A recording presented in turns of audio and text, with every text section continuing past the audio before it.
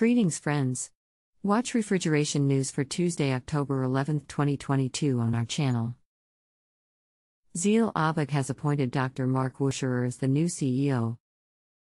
Mert Kalafatoglu appointed Danfoss head of sales climate solutions for Turkey, Middle East, and Africa region.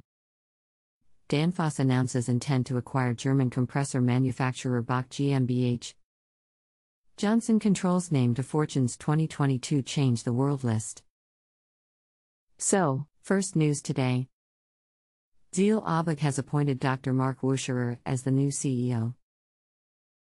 The Ziehl-Abegg SE Supervisory Board has appointed Dr. Marc Wucherer as the new CEO. The 52 years old will take up his new position in December 2022. The Doctor of Engineering with a degree in Business Administration started his career at Siemens AG. During a series of management roles, he was responsible for various business units both in Germany and abroad, and was president of the industry segment in Northeast Asia. Read more the news on our website today. Second news today. Mert Kalafatoglu appointed Danfoss head of sales climate solutions for Turkey, Middle East and Africa region. Danfoss, a world leading supplier of technologies for several industries and many markets, appointed a new senior management member for the region. Mert Kalafatoglu, as the company's internal candidate, was promoted to head of sales climate solutions for Turkey, Middle East, and Africa region. Mert comes from the position of head of sales climate solutions for Turkey and is replacing Alexander Jovanovic, who left Danfoss in August. Read more the news on our website today. Third news today. Danfoss announces intent to acquire German compressor manufacturer BOCK GmbH. Danfoss today announced the intent to acquire compressor manufacturer BOCK GmbH, headquartered in Frickenhausen, Baden-Württemberg, Germany, from Knorr Holding GmbH.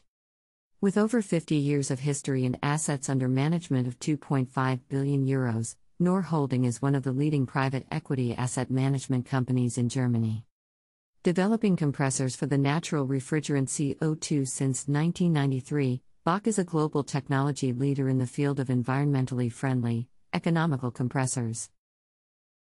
Read more the news on our website today. Fourth news today. Johnson Controls named to Fortune's 2022 Change the World list.